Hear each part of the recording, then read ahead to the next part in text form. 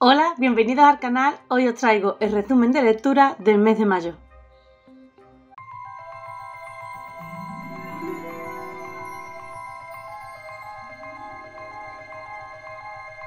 El mes de mayo ha sido un buen mes de lectura porque he terminado un total de 6 libros, 2.986 páginas y no solamente por este hecho, sino también porque ha sido el primer mes del año en el que le he dado 5 estrellas a un libro y otro se ha quedado a las puertas. Y solamente por esto mayo ha sido un gran, gran mes. Pero no voy a adelantar acontecimientos, vamos a ir por orden, orden de finalización de lectura y vamos a ir hablando de todos los libros que me leí en el mes de mayo. El primer libro que terminé en el mes de mayo fue el día 1, 2, 3 a lo mucho, y es porque es una lectura que arrastraba del mes de abril. Con 646 páginas, La Guerra de la Amapola es uno de los libros que puedo considerar de las mejores lecturas de este 2024. Le di 4,5 estrellas, aunque Gurri no me deja poner las medias estrellas, este se lo merecía, y es porque me quedaba a las puertas, las puertas, las puertas de darle las 5 estrellas completas. Cuando empecé el libro y hasta la primera mitad me maravilló, me encantó. Yo iba a entregar mis cinco estrellas, mis primeras cinco estrellas del año, se la iba a dar a la Guerra de la Amapola por ese principio, por esa introducción, por esa presentación de los personajes, por ese desarrollo en la Academia Militar que me encantó. Se merecía las cinco estrellas sin duda, pero es cierto que de la mitad al final, lo que viene siendo la segunda mitad del libro, esa parte no se desarrolló tal y como yo hubieses querido, ¿vale? Está muy muy muy bien, el ritmo no decae, no deja de pasar cosas emocionantes, épicas, chulísimas en todo momento, pero por lo que yo había leído en esa primera mitad, no me esperaba que la historia iba a desencadenar en lo que después desencadena, ¿no? Y esas cosas puede hacer que una novela que está dividida claramente en dos partes vaya a mejor o que no sea lo que tú esperabas, ¿no? Y eso es lo que me pasó. No era lo que yo esperaba en este libro, aunque me encantó y me gustó muchísimo. Por eso se quedó en las cuatro y media, porque yo esperaba que fuera por otro camino esta historia, la verdad. Aún así, hace un libro casi perfecto y estoy deseando de leer la segunda parte, porque a lo mejor las cinco estrellas se las lleva ese. Y el siguiente libro que terminé de leer con cuatro estrellas es Novia de la Ali Hazerbu, o como se pronuncie. Y tengo que decir que es mi primer libro de esta autora, pero ¿qué es lo que pasa? Que ella escribe novela romántica contemporánea y a mí la contemporánea me frena muchísimo, aunque la tengo ahí en el punto de mira, pero todavía no me he atrevido con ella. Pero en esta ocasión, aunque es novela romántica contemporánea, tiene su toquecito de fantasía, tiene su toquecito de urban fantasy. Y nada más que por eso ha sido mi primer libro de esta autora. Le he dado 4 estrellas sobre 5 porque me ha gustado mucho y me he divertido un montón leyéndolo, aunque tengo que decir que cuando empecé no sabía por dónde iba la cosa, no me adaptaba 100% al estilo de escribir de la autora porque es cierto que empieza directamente en el meollo, directamente en una circunstancia, en un momento intenso y muy importante y que es verdad que yo todavía no estaba adaptada a la forma de escribir de la autora, ni conocía a los personajes, ni tenía ningún tipo de empatía por ello y meterme en ese momento tan importante y tan intenso, a lo mejor yo sentí que no me estaba importando todo lo que me debería de estar importando, ¿no? Entonces empecé ahí un poquito reticente, pero a medida que va avanzando la historia y vamos conociendo a los personajes, ya te va cayendo mejor uno, ya te va cayendo mejor el otro, ya vas empatizando con las circunstancias del uno, ya vas empatizando con las circunstancias del otro, te vas encariñando te ves dentro, totalmente dentro de la historia. Y ahora si miro para atrás y veo esos primeros capítulos en los que yo estaba un poquito ahí extraña, ahora lo comprendo mejor. Pero claro, ha sido a posteriori. Me ha gustado muchísimo, me he divertido un montón, pero yo hubiera querido, a lo mejor para que fuera redondo y perfecto, haber conocido un poquito más los personajes antes de llegar a ese momento, esa circunstancia. La protagonista Misery y sus comentarios me hacía un montón de gracia. Y entre los lobos había un montón de personajes cookie los que me estaban cariñando. También tiene una trama secundaria que me tenía muy intrigada e incluso hubo un giro de los acontecimientos que no me vi venir. Y lo más importante de este libro, el romance. La historia de amor entre Lowe y Misery es una historia que para un lector avispado se lo ve venir, sabe qué es lo que está pasando, lo sabe, ¿no? Desde el momento uno. Pero ese desarrollo poquito a poco, cómo se van conociendo, cómo se van comprendiendo y que a pesar de sus claras diferencias se van aceptando y se van compenetrando muy bien. Al final ha sido un libro que ha estado muy bonito y que ha sido muy simpático porque tiene ese tono de comedia romántica con criaturas paranormales que estaría muy gracioso y muy chulo de ver en la pantalla. Y ahora sí hemos llegado al gran momento de este resumen de lectura de mayo y es el momento en el que yo le di las 5 estrellas a un libro, al primer libro de 2024. Con 528 páginas, Escuadrón de Brandon Sanderson ha sido mi primer 5 estrellas de este año. La verdad es que se ha hecho de rogar porque ha sido más o menos a mitad de mayo y mira que he hecho lectura y me lo he pasado bien y ha habido libros que me ha gustado mucho pero se han quedado siempre ahí una chispa, una mijita, un pelito de que fueran perfectos, de que no le encontrara ninguna pega, de que lo disfrutara 100%, ¿no?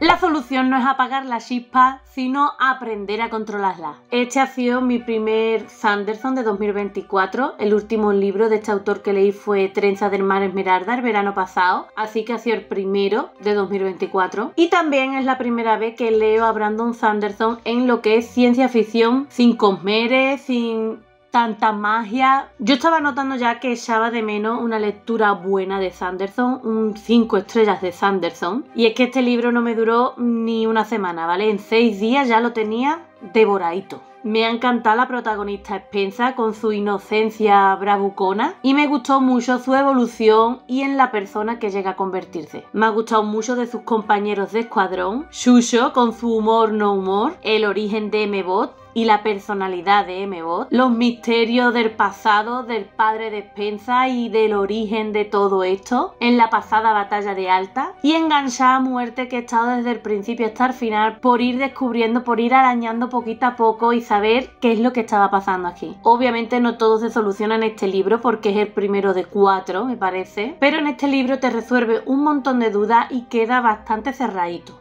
Aún así estoy deseando de continuar con la segunda parte estelar que creo que va a caer pronto.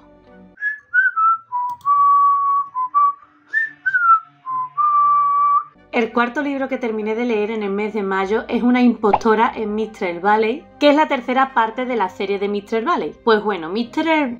Ya, ya se me está trabando la lengua. Mr. Valley Es una serie de novelas románticas históricas que está ambientado en este Mistral Valley imaginario. Y en esta serie varias autoras han escrito su novela de romance histórico de regencia ambientado en ese mismo pueblecito, es así muy místico, muy misterioso, muy romántico, muy todas esas cosas, ¿no? Hace tres años que empecé esta serie y he estado leyendo uno por año. Y bueno, pues mm, este es el que me tocaba en 2024. Le he dado tres estrellas sobre cinco. Son novelas hasta ahora bastante normalitas, las tres que he leído. No hay ninguna que yo haya destacado especialmente ni que me haya sorprendido especialmente. Es una serie bastante neutra. No están siendo novelas especialmente asombrosas, ni llamativas, ni destacables por ninguna cosita, ya sea del romance, de la historia, de la subtrama, de no está haciendo nada destacable, pero la verdad es que son bonitas, son cookies, son distraídas, está bien, ¿no? De vez en cuando seguiré leyendo otra más y a ver si dentro de la serie hay alguna que verdaderamente me da el flechazo.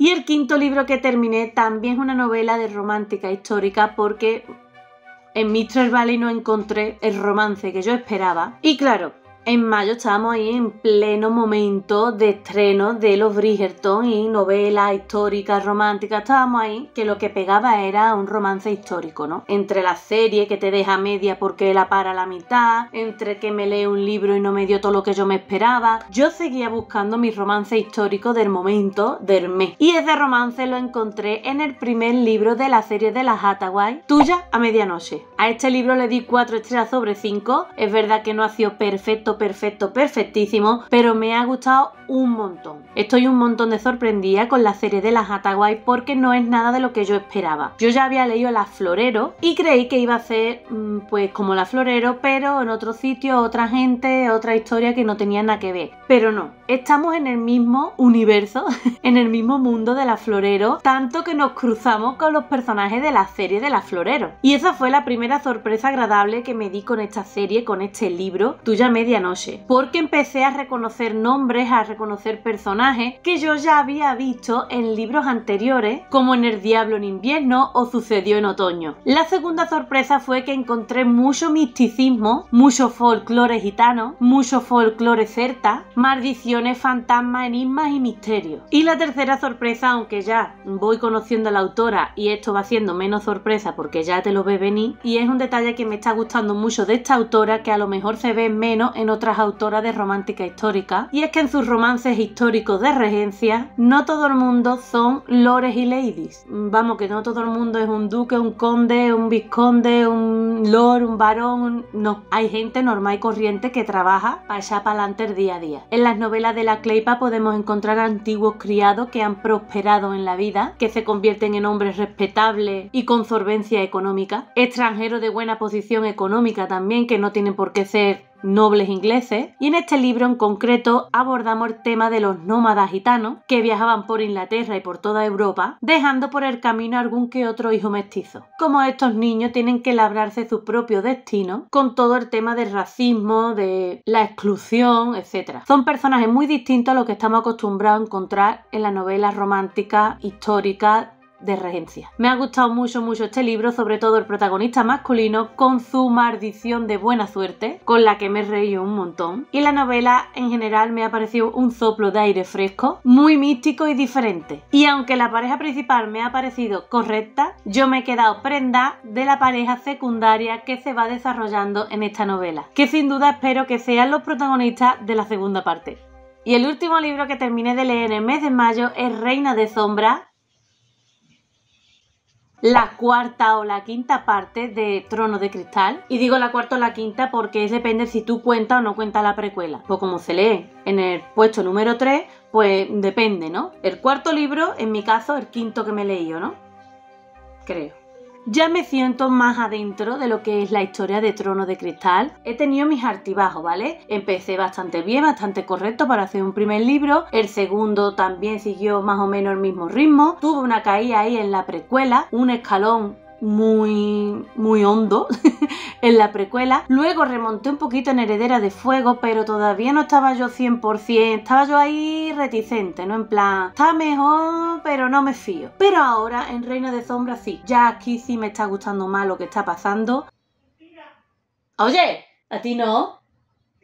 Ah, le da una puntuación de 4,5 estrellas porque aunque me ha gustado mucho más que los anteriores, la fantasía, la acción, los personajes, todo mejor así como un poquito más, poquito a poco, poquito a poco, poquito a poco, todavía no he sentido que haya sido 100% perfecto, todavía no siento que me haya súper mega encantado. Pocas cosas puedo decir de este libro porque estamos hablando de que ya estamos en una quinta parte que tampoco puedo poner a destripar lo que pasa y lo que no pasa. Pero mi principal problema en este libro es la protagonista, nuestra antigua Cilina. Y aunque ella está evolucionando y ha cambiado muchísimo, muchísimo del personaje que era ya en el primer libro y en la precuela, por supuesto, ha cambiado un 85-90%.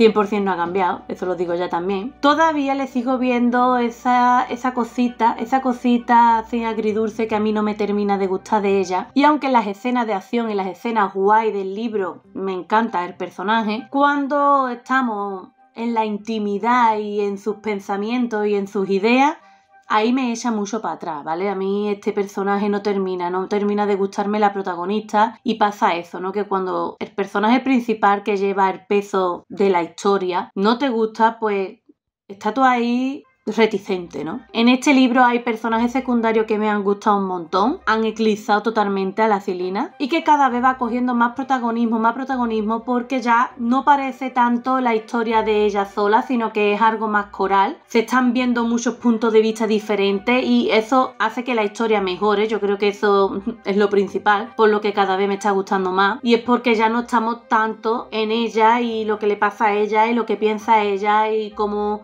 resuelve todo ella, sino que vamos viendo otros personajes, otras historias, otros puntos de vista distintos y eso mm, complementa y mejora un poquito todo.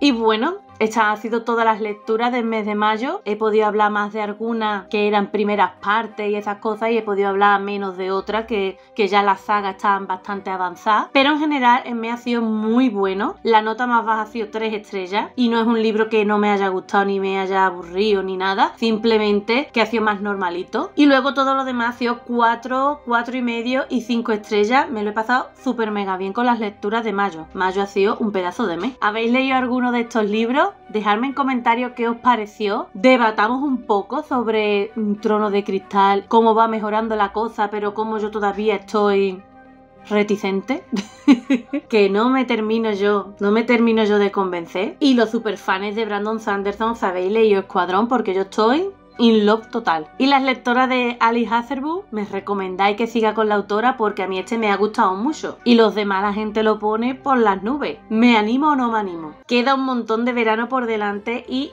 muchas, muchas expectativas y propuestas de lectura. Me faltan meses de verano. Sin más, nos vemos en un próximo vídeo. Adiós.